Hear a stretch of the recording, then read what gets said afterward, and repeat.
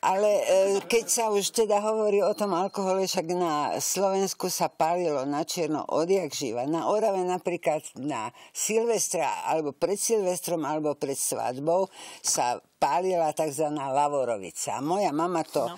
E, pred Silvestrom robila tiež. Dala hrniec na sporák, do hrnca naliala nejaké čosi, čosi kvasené. Na Môžeš to dala... pomalšie, ja si to chcem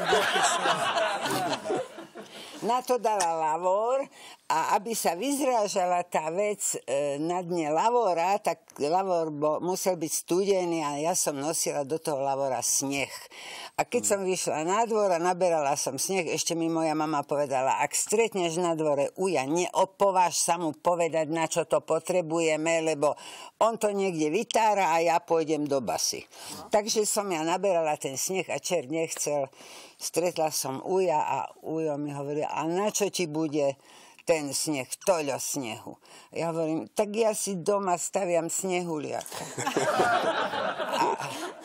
Ujo mi povedal, že a odkáž mame, aby nedala z tej lavorovice s tomu snehuliakovi vypiť, lebo to je prísne zakázané. Je to trestný čin. Na to je u nás zákon.